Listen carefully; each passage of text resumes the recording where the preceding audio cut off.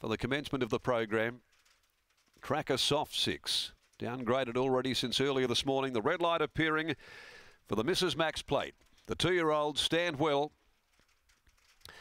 Off and racing, ain't no other man. Written exceed left on equal terms over Rommel's command, and Yes Man is going to push up just behind those. Probity also squeezing right up on the inside of that group. After a length and a half behind them, Gidget the midget. Augusta Red settling out the back, and towards the tail is Crown Princess.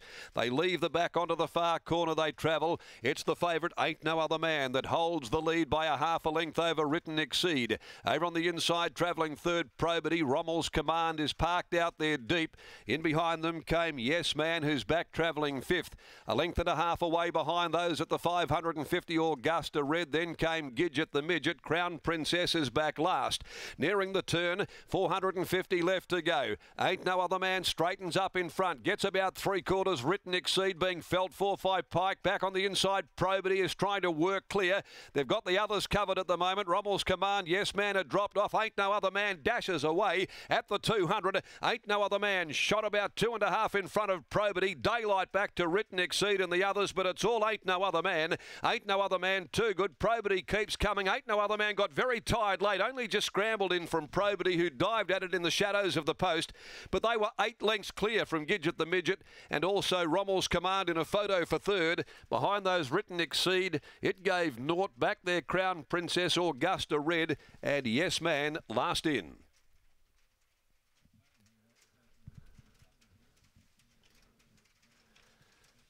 Ain't no other man. Written by Laqdar Ramoly. Probity really picking up late. Ain't no other man had to be stoked right up in the last couple of bounds. Probity was trying to cut the margin down, but it has held on. Ain't no other man by about a long neck to Probity, and it was an absolute day back there to third. And that was resting between Gidget the Midget, Rommel's command together. They really made heavy weather of it back there in the field, those in the Beaten Brigade. Ain't No Other Man by Gingerbread Man from There's None So Sassy for Wally Daly. Making it three wins now from six outings. Trained by Sean and Jake Casey. Laqdar Ramoly aboard. Jumped quickly, held the front.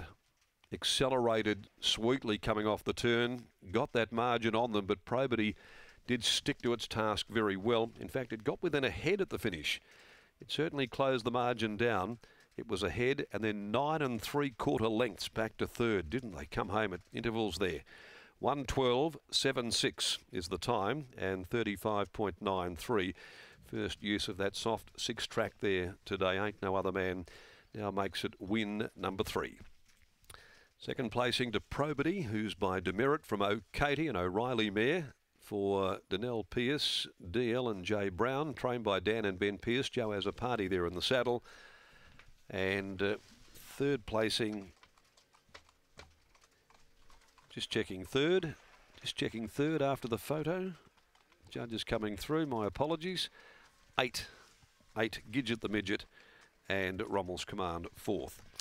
Okay, so uh, those are the details here after the running of the opening event for the day. Ain't no other man first, Probity second, Gidget the midget third, Rommel's command. Good run too, albeit beaten a long, long way, but was caught off the course right from the word go as Laqdar comes back in. He continues his fine form in the saddle. Race number two this afternoon is the running of the free entry to Belmont Park handicap. There are no changes to come out of the next event of the day. Let's head downstairs into the winners' enclosure, a rain-soaked winners' enclosure with Britt Taylor. Yes, puddles everywhere down here in the enclosure. Darren, I have Sean Casey here, and no rain will dampen his parade because very happy man with Ain't No Other Man saluting. All the rain about Sean, I suppose you never know with these youngsters until they've actually been on it, but given that he was a last start 1400 metre winner, what was the gut feeling for you with today and today's conditions? Yeah, we were treating a little bit like that, but um, with the 1200 in the soft going, he's run 14, so we thought he'd have the stamina. Um, obviously, he had to enjoy the going, but he uh, also had to enjoy a good ride, and it was a superbly rated ride. It, um, that was second to none. Were you expecting him to lead them up today, given that he was box seating last start? Well, I, I told him to jump to lead. I said, but uh, then then make your own rate your own race. I said, if something wants to go past you, they'll have to kick up to go past you. Don't don't um, increase the tempo that you're happy with. And uh, it, absolutely superb. Were you nervous in those concluding stages when Probity was just taking a bit of ground off to the line?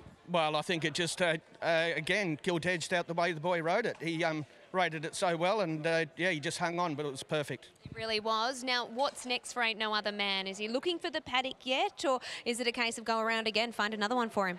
No, but it, he's only he's only two, and he's won three now, so he's uh, a um, would be looking looking for a looking for a break. He's in great condition, but uh, with so much upside as three-year-old, um, yeah, uh, uh, yeah, couldn't be happier. Well, we'll uh, see if you're a man of your word or you're like Neville Parnham, who uh, can't quite uh, put get, gets them out of the paddock for the 40,000.